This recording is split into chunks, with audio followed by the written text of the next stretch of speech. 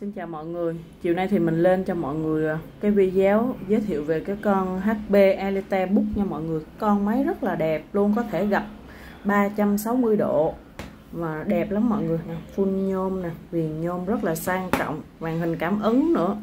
HP Elite Book ha. Đây mọi người nè, màn hình full viền ha. Trước mắt thì mình cái gặp xuống đây cái đã Nhìn rất là đẹp nha mọi người. Đây. Đó Đẹp quá luôn màn hình là 12.5 inch ha mọi người ha? Phím led. Phím có led nè mọi người nè. Màn hình có cảm ứng luôn. Đó. Thì uh, đi sơ về cái ngoại hình của nó đã ha. Elite Book mọi người. Cái loa rất là đẹp. Loa rất là đẹp. Loa nghe hay lắm nha mọi người. Ai mà thích nghe loa là dòng này là nghe rất là hay luôn. Nhỏ gọn nhưng mà hay. Loa loa bo nè mọi người. Loa rất là hay luôn. Cái ờ, uh, là cái cái chi tiết rất là đẹp. Core i5 thế hệ 8 mọi người ha bàn rê chuột rất là mướt. Đây thì cái máy ờ, từ từ từ đi xem cái viền cái đã ha mọi người ha. Nè, cái viền phay nhôm rất là sang luôn có ngõ tai VC nè tai VC này sạc tai VC nha mọi người HDMI đây gấp nè cái full viền hai cái thằng à, ờ, nó nó ánh à, ánh ờ, kim loại lên rất là đẹp luôn ha mọi người ha. Ừ, Editor Book rồi quay ha. Nguồn thì đây nha mọi người. Nguồn ở đây.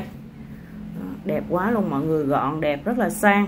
Rất là sang luôn cái mẫu máy thật là uh, xinh đẹp á mọi người. Đây, gấp 360 độ. Thì trước mắt thì cứ để như vậy để mọi người nhìn cho nó rõ ràng hơn ha. Oh, quá đẹp đây à, nó là cấu hình là HP Elite Book X360 1030G3 nha mọi người. Đó ờ, à, 1030G3 cái này nếu mà 1030G3 là màn hình nó 13.3 inch nha mọi người 13.3 inch chứ không phải là 12.5 inch đâu mọi người 13.3 inch lận. À, nãy tại vì cái máy nó quá gọn đi cho nên nó là mình tưởng là 12.5 inch thực sự nó 13.3 inch rất là đã luôn mọi người phun viền đẹp lắm. À, i5 8250U là thế hệ 8 nha mọi người. RAM thì 8GB nè và SSD SSD là 256GB đó ad màn hình thì Full HD à, ờ, có cảm biến ờ, khuôn mặt rồi tùm lum hết mọi người. Máy thì quá ok luôn tại vì thế hệ 8 là được cái phím led nè rồi ờ, cái mẫu quá đẹp luôn. Cái mẫu thật sự rất là đẹp. Con này thì máy hoạt động hoàn hảo. Pin trên 3 giờ mà nó còn có cái sạc zin của nó đi theo máy nữa nha mọi người. Cảm ứng ok màn hình đẹp không lỗi không bầm không đóm không gì hết. Viền cũng ok luôn. Chỉ có chỗ này nè mọi người nè một cái nút enter này nó bị nứt thì cái này là đã dán lại rồi ha mọi người ha. Đã dán lại rồi thì cứ vậy thôi. Bấm không có ảnh hưởng gì hết trơn không gãy không gì rất là chắc chắn luôn. Thì cái phím có thể là um, lấy ra được nhưng mà một cái này thì nó nứt như vậy. Ở bên Nhật người ta đã dán lại rồi rất là chắc chắn nha mọi người.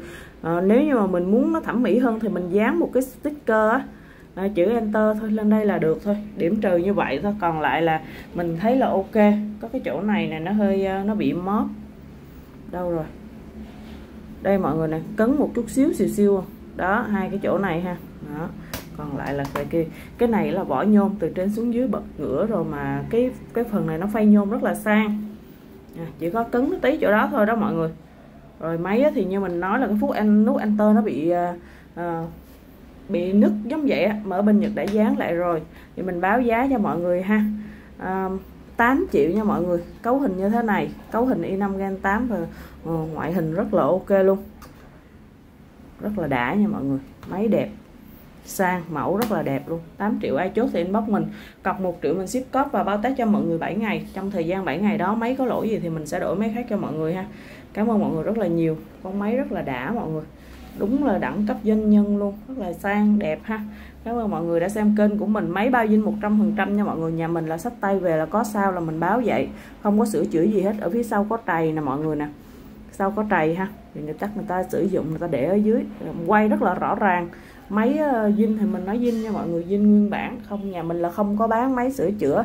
Trầy tróc chỗ nào là mình đều báo rõ ràng cho mọi người hết. Máy sao là báo vậy? Nên mọi người cứ yên tâm. Cảm ơn mọi người rất là nhiều.